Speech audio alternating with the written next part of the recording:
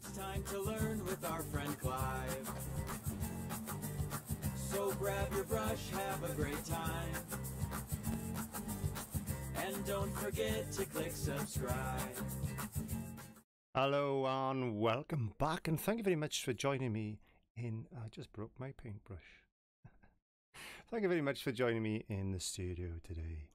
Okay, so um, what I've got planned is to do a series of um, premiere videos for you. So I'm not live, but I am live down in the comments. So I am watching this with you. Uh, or I will be watching this with you, I should say. Uh, I am watching this with you. That's Welsh, see? so I will be watching this with you, and I'm down there in the comments. So if you've got any questions that you'd like answered, then just feel free to type them in, and I shall respond. Now I'm having loads and loads of comments every single day, and I'm finding it very difficult to uh, answer these um, by text. So I'm going to be doing um, the odd um, catch up questions and, and answers answers and questions. It depends where in Wales you live or the world. So, what I'm going to do today is cover something that is being requested a lot, and that is a color wheel. Now, not everybody knows how to use a color wheel, and I've done this subject before, but not in this particular way, and I thought it would be interesting to bring this to you, um, especially now. Because um, I'm sure that you're all progressing very well and you're doing your own things. Fantastic artwork that I've seen on Facebook, and people have been emailing me. Um, so I said, let's just cover a couple of the basics for you. So I'm going to pick up a camera. I got a little camera in my hand. There you go.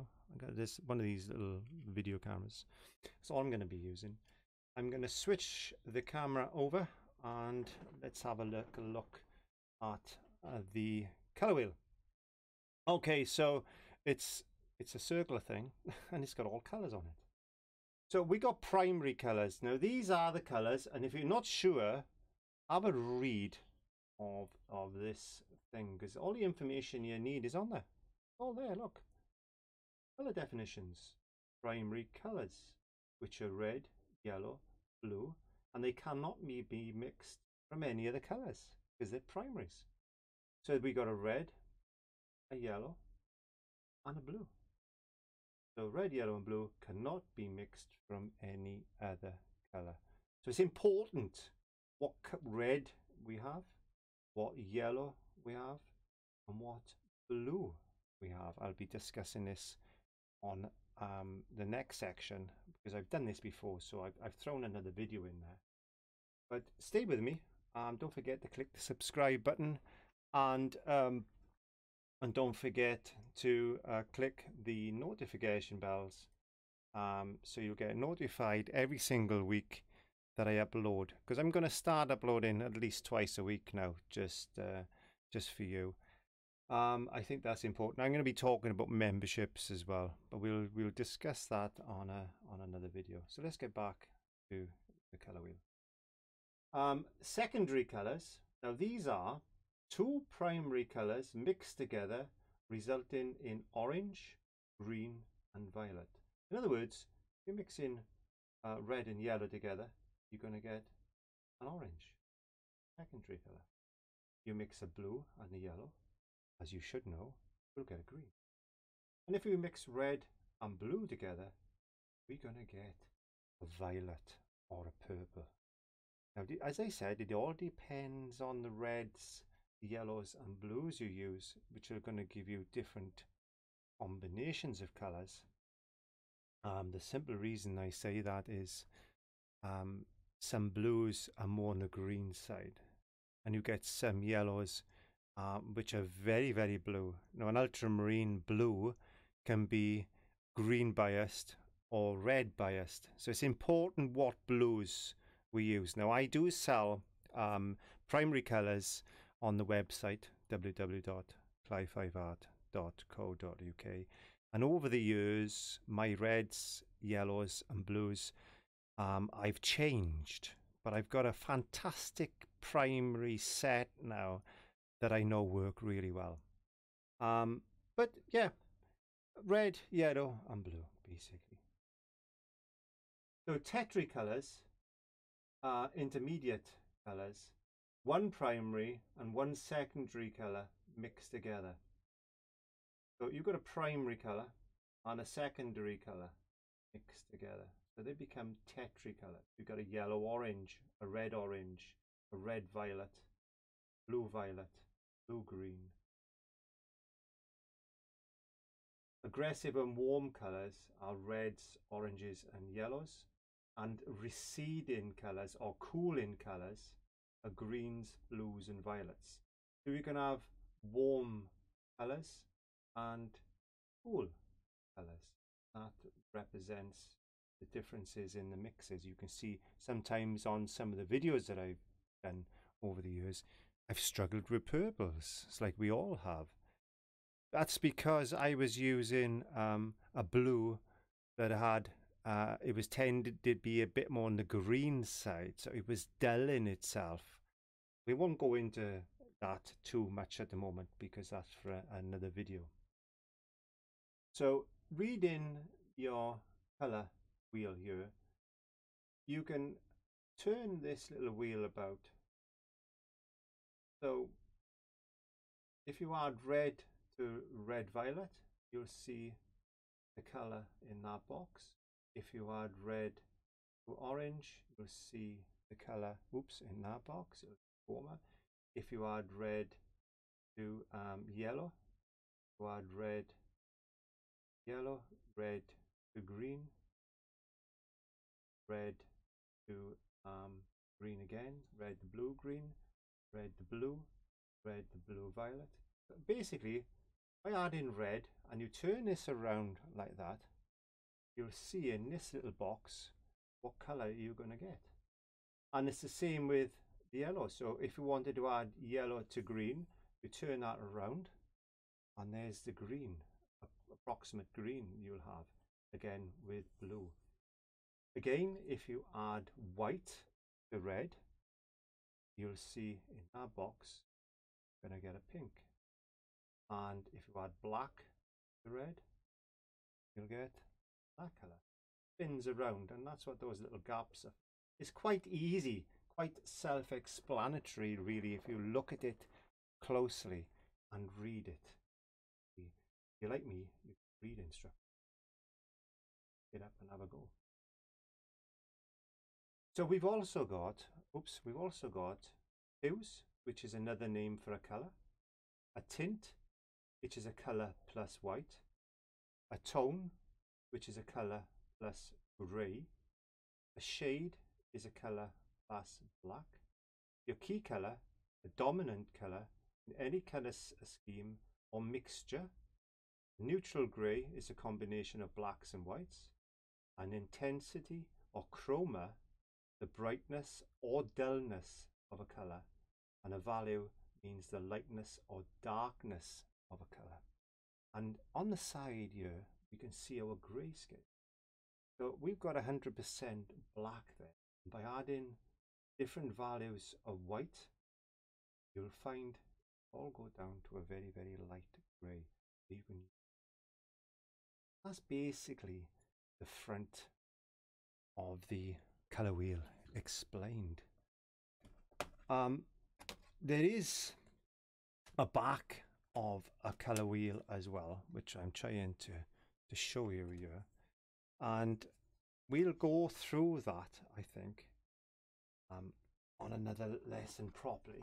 But it's, this is all goes down and goes and explains to you. Let me switch my camera.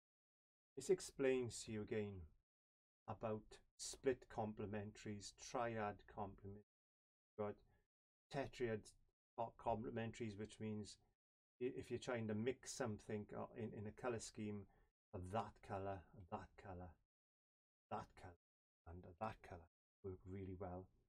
But split complementary, you're using like a blue green you can use the oranges there and you can use the reds there which will sit really really well in the color scheme and again how to use the color wheel it tells you everything you need to know but we'll talk about this part of the color wheel on another video so i want to thank you because i'm presuming that you've given a lot of questions and I'm answering them because I'm taping away on my phone.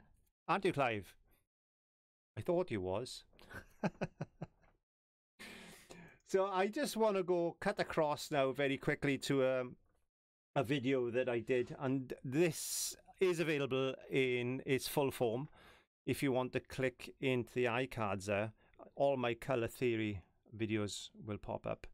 But I thought it would be nice if we could do this because it gives you the opportunity to opportunity. We'll say that again. Let's have a drink. It gives you the opportunity to ask me questions directly, especially on a premiere like this. So without further ado, let's go across to me in the studio.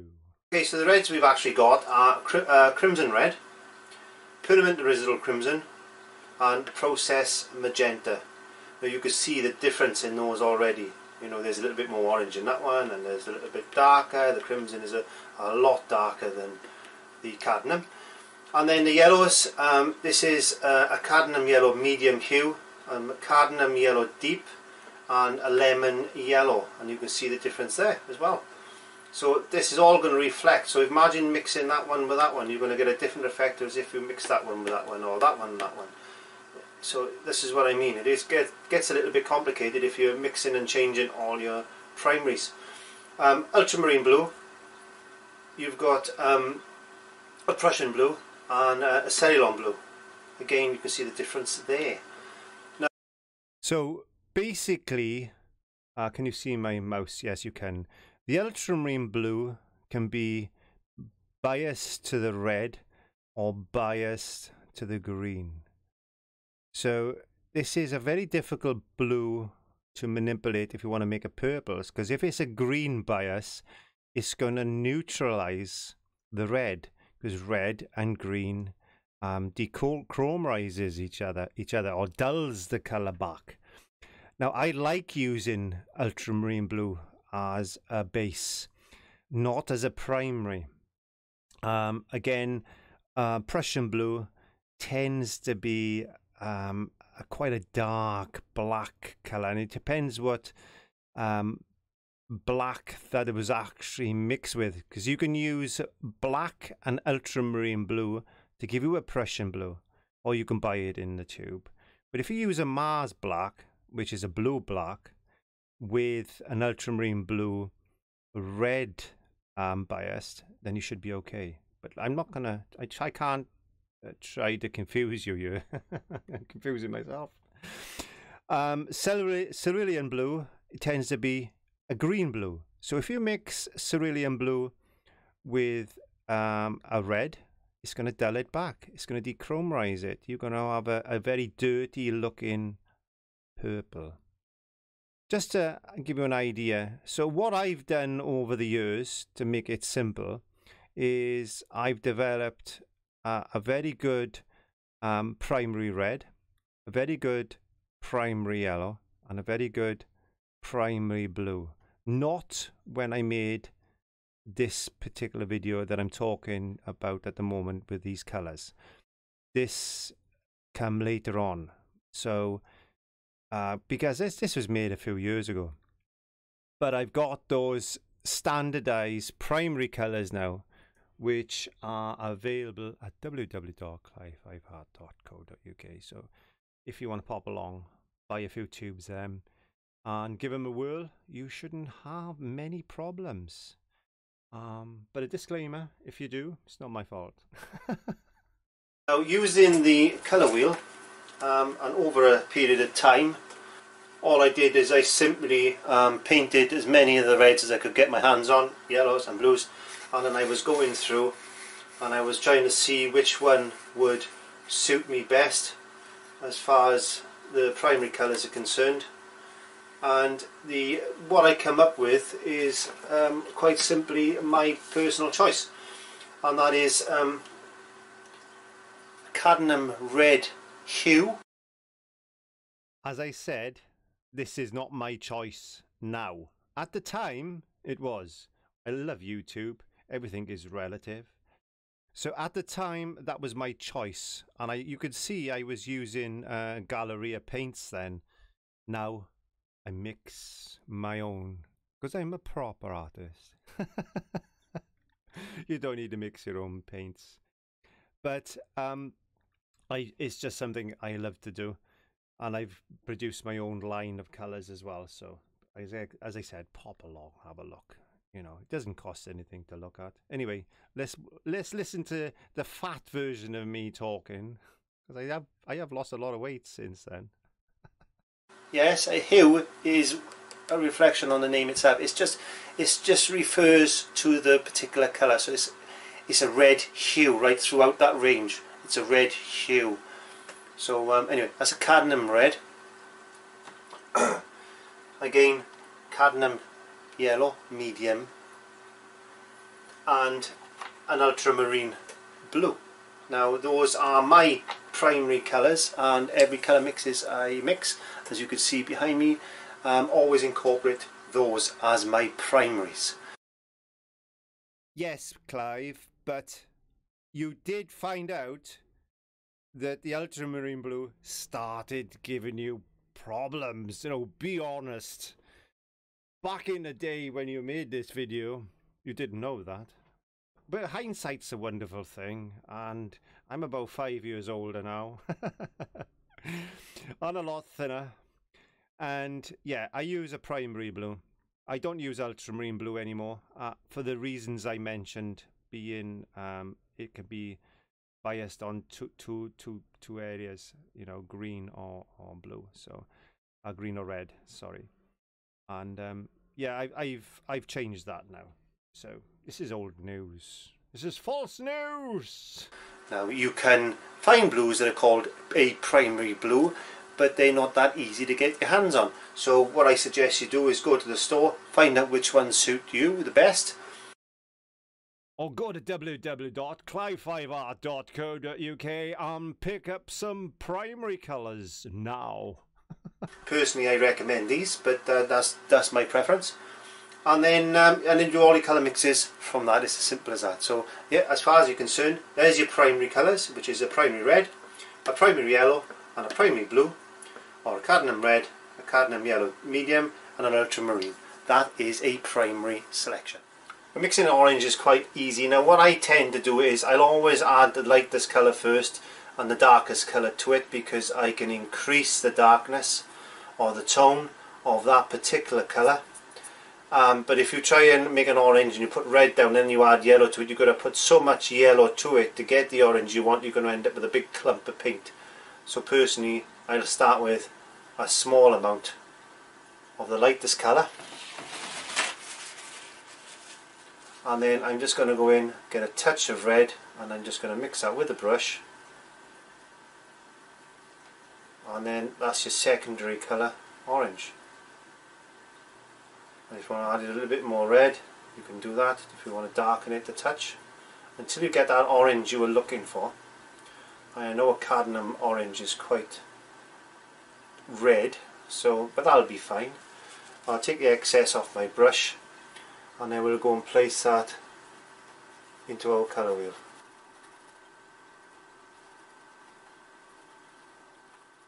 what I would say is paint a colour wheel because if you do you will learn and there's nothing like doing something to learn, even if you make mistakes. This is what my channel is all about painting, having a go, putting yourself out there. Who cares what it looks like? Like I've said before, it's you having a go. And the more you paint, the better you improve. And when you're doing things like this, you will learn so, so much. So mixing a primary red and a primary yellow, we're going to get a secondary orange. One. Okay, so we got the green, um, and that goes in this segment here. So that's mixing the blue, the ultramarine blue, and the cad yellow medium together, and that's our green. Hey, we've done it right this time. These things happen. Um, I, you know, at the end of the day, we we're all human beings, and mistakes can be adjusted pretty quickly with acrylics. So that's a good thing about acrylics. So mixing blue and yellow, we get a nice green. Now, what we're going to do now is mix um, the red and the blue to get a violet. Now I think I'm going to struggle here because I'm using an ultramarine blue and it's a green biased and I'm going to try and make a purple. But what I didn't know was it was a green biased. so therefore it was going to dechromerize itself and I'm going, what have I done? I'm on I'm on a video. Let's have a look. So this time I'm going to start with the red.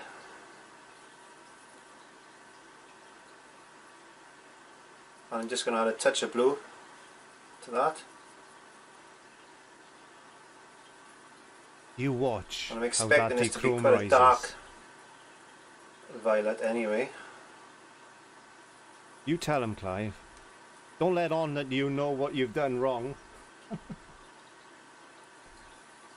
I always have difficulty um, mixing purple or violet with ultramarine because ultramarine is quite a dark colour and I don't No, want it's this to go not. It's too green bias, Clive. Tell him the to truth. be more on the red side. And I think I'll be alright with that. It does look a bit dark. and we put that in place and make sure it's in the right position this time, Clive.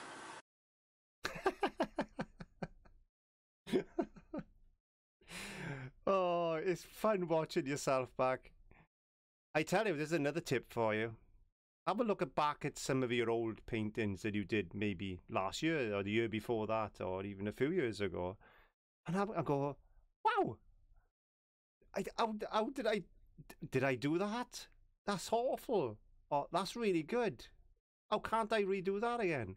Try painting them again. Trust me, try them. Because you'll be surprised how easy that you can improve by looking back at something you've previously done. Or even remember something that you've done that you forgot about. That's not easy for me to say.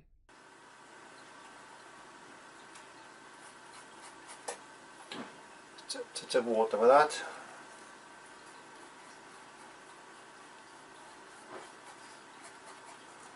No, I don't mix many um, violets or purples with. Well, I don't use many of them at all, to be quite honest with you. And if I was going to use this, I would lighten it a little bit with some white anyway. Because it's very rare that I'll use a dark violet. But I mean, you can see the violet in that now. Because the blue is dark, then obviously it's going to affect the colours as I said. The colours are dechromerized. Again, I'm going to reiterate because the ultramarine blue is a green biased, it's going to desaturate or dechromerize the red. So if you want to make a, a dull red, add a little bit of green to it, and add green, add red to the green because you'll dull the green, and that's how it works. So be very careful when you're picking blues and trying to make purples. That's all I'm trying to say. And um, mistakes happen, and well, I'm just trying to cover my own tracks now. So our primary colours are red, yellow and blue. And by mixing red and yellow together we're going to get an orange and again yellow and blue. We're going to get a green and blue and red. We're going to get a violet or purple. Secondary colours.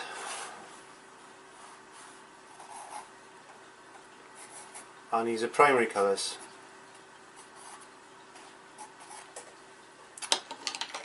Now a tetri colour is a colour that's mixed with two adjacent colours. And in this case a red and an orange mixed together will give us a red orange. That's a tetri colour. And then the orange and the yellow would give us a yellow orange yellow and green yellow green blue green blue violet red violet etc. So they called tetri colours. So two colours on the colour wheel adjacent to each other mixed together is a tetri colour. Looking at this particular, oh, we got the orange, so if we mix more red to a part of that orange, so we mix in red to orange, and that's going to give us a rice red orange.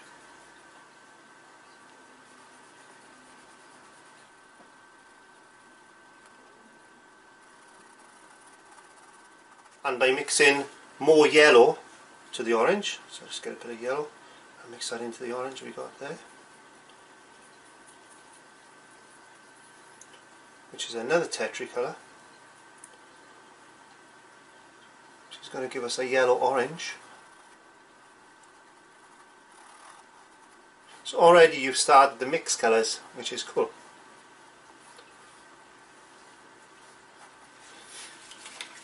and again going round the colour wheel. So if we add a little bit more blue to the green we're going to get a blue green. Which is this one. So we've got basically a green more towards the blue side of the scale then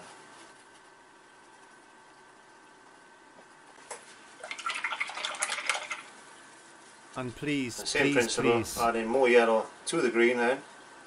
have a go. Paint your colour wheel. It's going to give us a yellow green.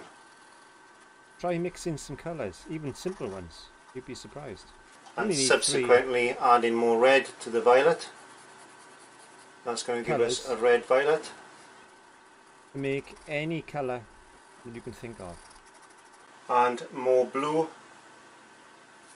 to the violet is going to give us a blue violet. Or a violet that's mainly towards the blue spectrum itself. So there's a lot more blue in this violet than there is any other colour, which is red in this case.